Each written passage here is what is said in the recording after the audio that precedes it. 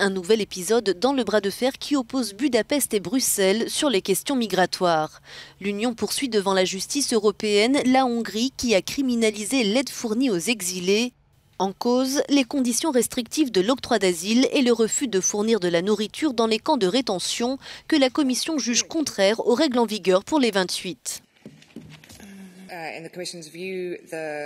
D'après la Commission, le séjour obligatoire dans la zone de transit hongroise est considéré comme une détention au sens de la directive européenne sur le retour et nous estimons que les conditions d'accueil, notamment la rétention de nourriture, ne respectent pas les conditions matérielles énoncées dans la directive sur le retour ou dans la charte des droits fondamentaux de l'Union. C'est pourquoi nous avons décidé d'envoyer aujourd'hui une mise en demeure.